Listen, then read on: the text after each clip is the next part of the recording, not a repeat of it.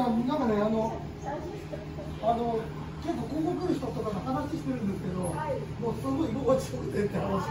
県内、県外からもこの時期にいっぱい来てるじゃないですか。そうですね。あの前回の休みあった時あった人もいたんですけど、わざわざ千葉から出てきて、でその後の村上っていうのああ、そうですか。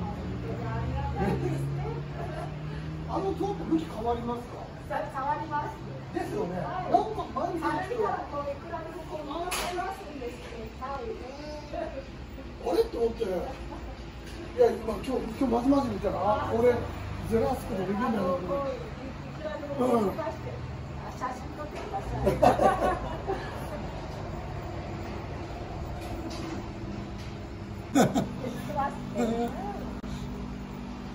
本当いい店。うん。